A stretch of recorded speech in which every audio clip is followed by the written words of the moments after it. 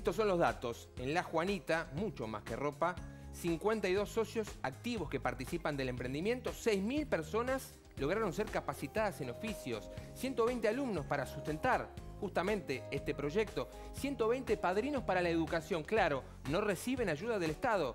20 universidades extranjeras tienen convenio para estudiar justamente este emprendimiento modelo de trabajo cooperativo.